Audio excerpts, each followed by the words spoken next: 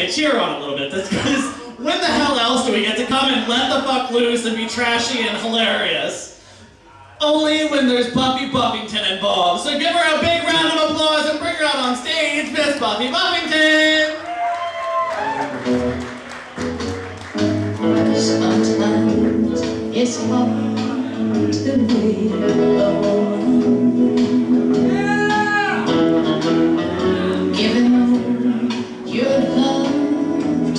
Just one man.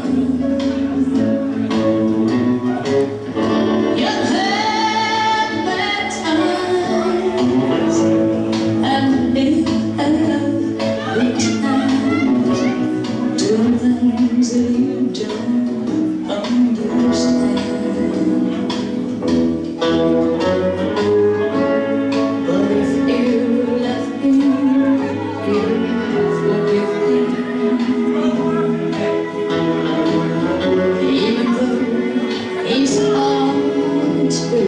understand.